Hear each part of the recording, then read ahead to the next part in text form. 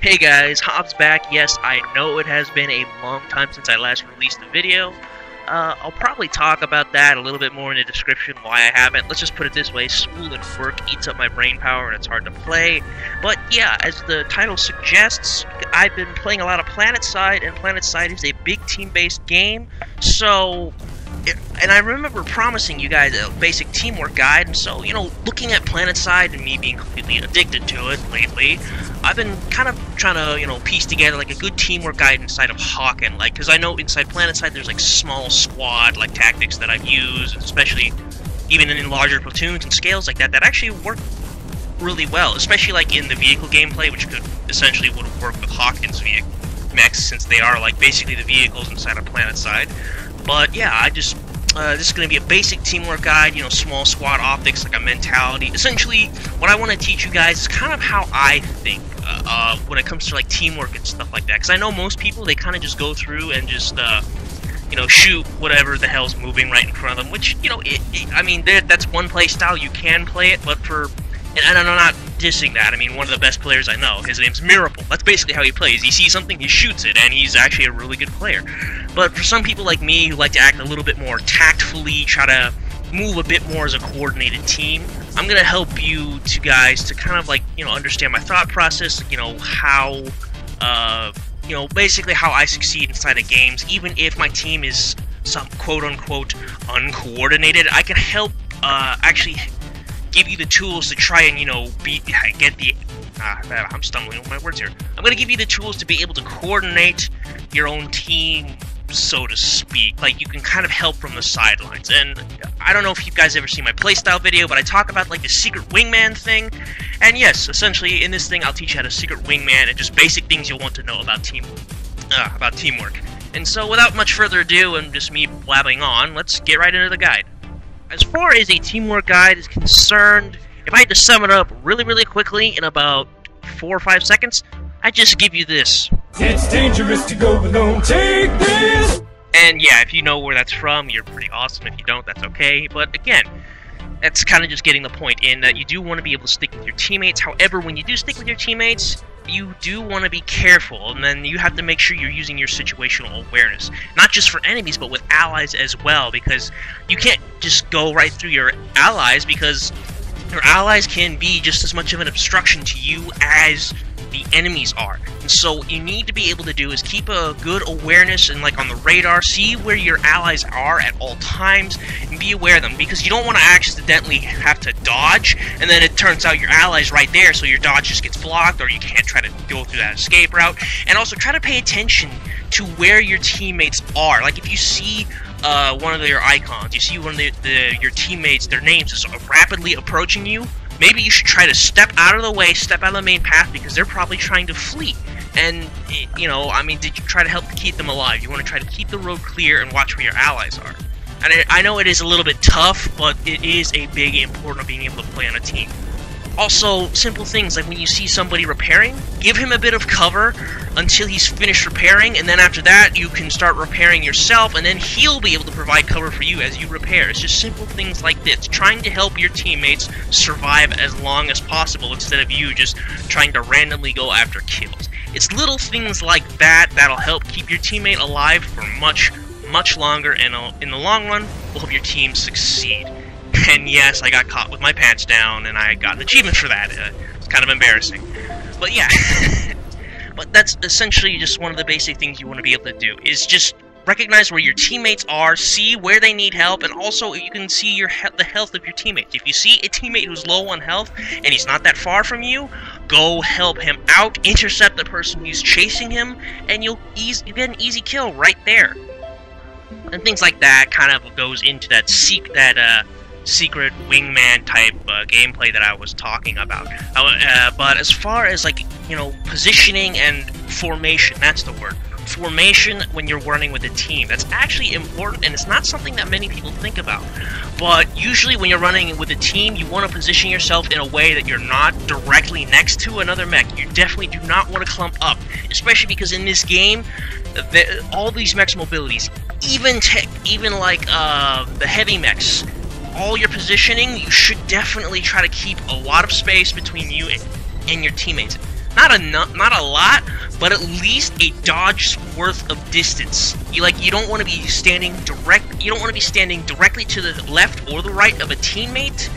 Uh, that's at least one dodge distance of between them because they got to be able to dodge and try to avoid incoming fire and you don't want to be directly behind them either that way they can you know turn around and then bail if they need to in a certain situation so the best place to do it is actually you know diagonally to the left or the right, slightly behind, or slightly in front. It depends if you're trying to lead or if you're trying to follow. I tend to follow, so I'm usually di diagonally to the left or the right of my uh, of the person who I'm following.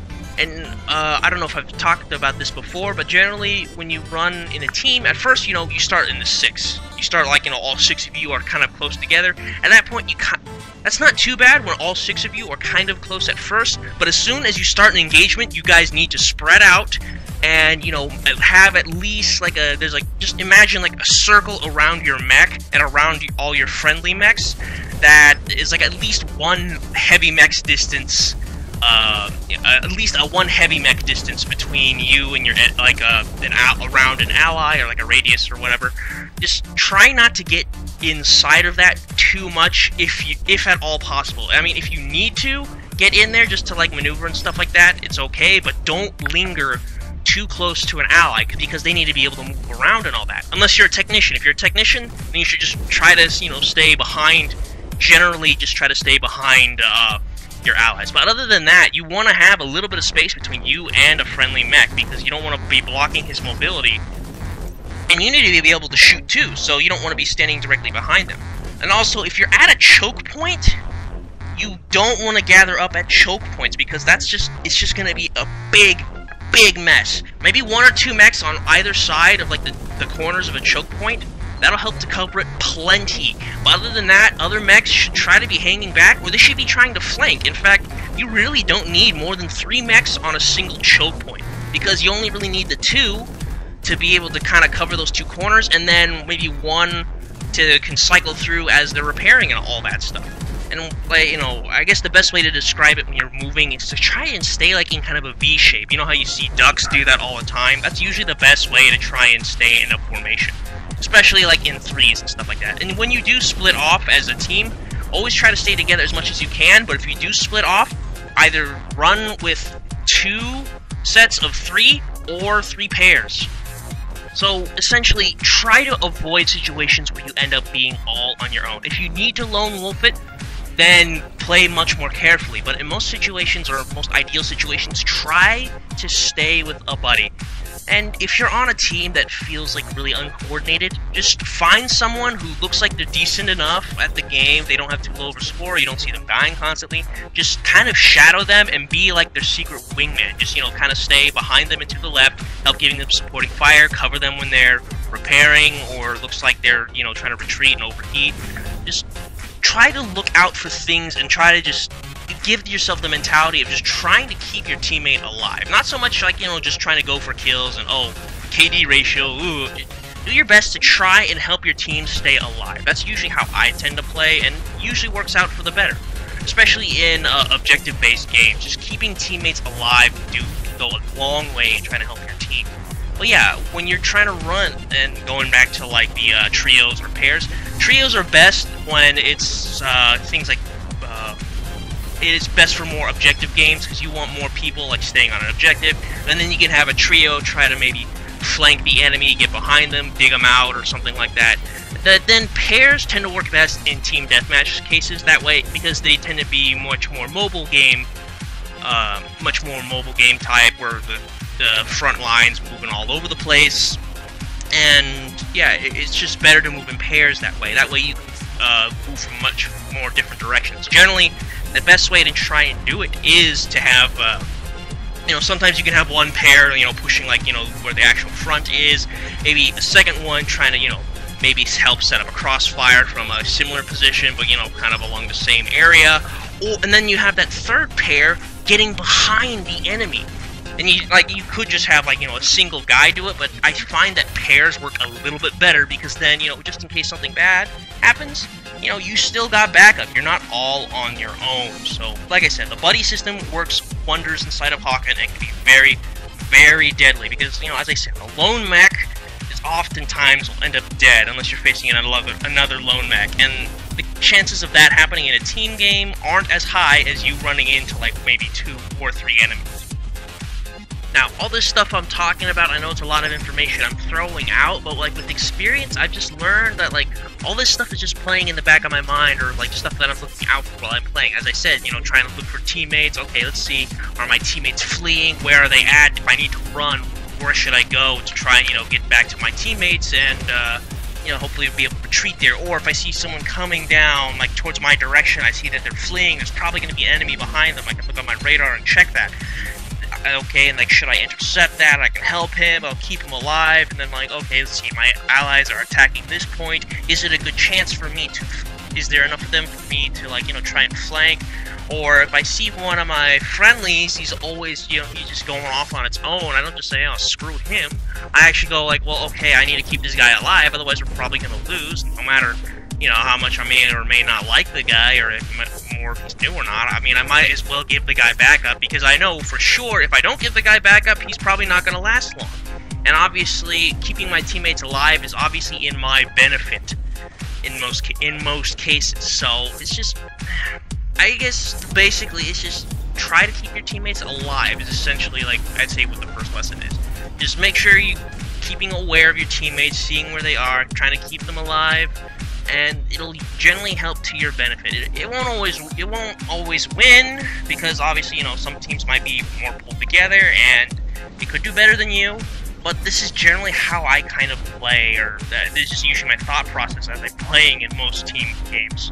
I admit, I sometimes I do just decide, you know, what, screw it, I'll just go lone wolf and then just see what kind of damage I'll do. But generally, this is how my thought process like just tends to move as I'm, you know, trying to move with the unit trying to work with a team and all that.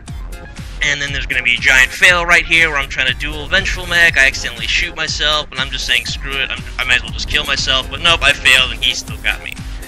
But yeah, I hope this guide was able to help teach you guys a bit more about how to try to move as a unit, try to be with a team. And if you guys are looking for more of a guide on how to be a lone wolf, well, I don't know why you watched this far, but hey, maybe you learned a couple things. And, you know, I might do another guide a bit more on the subject. If you guys want a bit more clarity, just let me know what you guys want to hear about. I just kind of wanted to get a little guide out, out there, just teaching you, like, basic things you want to think about, or at least that I usually think about when I'm trying to move in a team. Hopefully, again, it helped you try to understand, maybe help you move it better as a unit. Although, personally, I really wish voice comms was working in Hawken. That way to make moving as a team a lot easier. But yeah, that's gonna be it for this video. I guess I'll see you guys next time as soon as I get one. Like, comment, subscribe if you like what you saw. But for now, this is Hobbes signing off.